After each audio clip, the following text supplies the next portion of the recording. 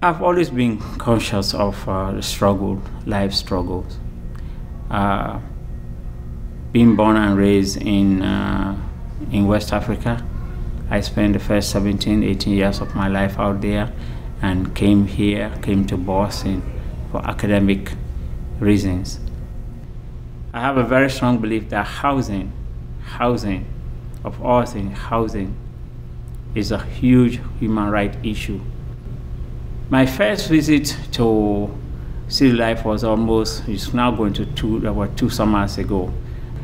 I was uh, elated and uh, as much as I was overwhelmed by the, the, the way uh, the group at uh, City Life received us.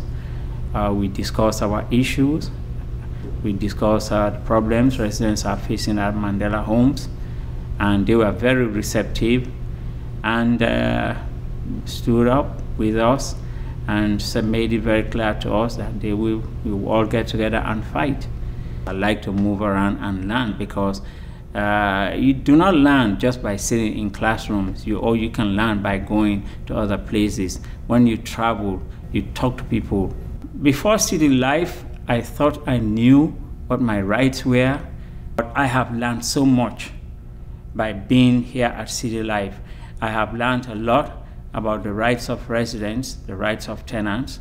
I have learned a lot by hearing other people's stories, whether they are tenants, they are residents, they are uh, homeowners struggling to retain and maintain their homes, or they are people who are in foreclosure, you know, with different banks and mortgage uh, lenders. Yes, I have learned a lot.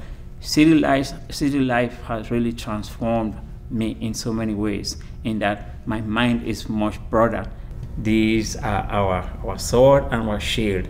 We use this to fight for housing justice, to fight for uh, equality, to fight racism. We are City Life Vida Urbana